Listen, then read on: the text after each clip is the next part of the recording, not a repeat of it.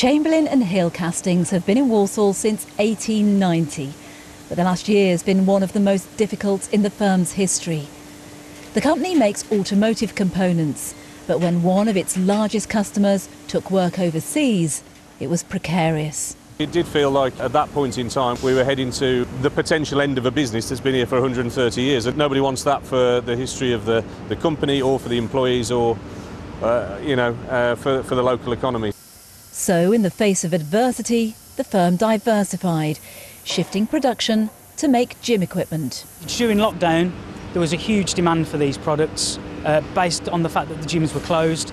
There was very little stock available for the UK consumer to purchase, so it was a case of striking while the iron was hot or the foundry was hot, so to speak.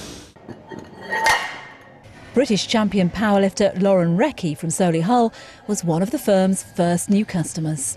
With lockdown, it was really hard to get hold of equipment. Most of it was coming from overseas, so it was handy having them make theirs in the UK. Back at the foundry, they've also got plans to produce cookware. They're promoting the specialist skills of this industry. Made in the UK for us is a very key thing. From our point of view, whatever we go into from this point forward, is all about trying to promote that side of things and, and, promote the skills and the resources we've got in this country. We've got people that have worked here decades, literally. They've spent their whole life here since leaving school to the point that they retire. If we can help maintain that sort of business going forward, then that's something to be really proud of. COVID might have changed the shape of some manufacturing in the Midlands, but for firms with the spark of ingenuity and invention, they could emerge stronger from the pandemic.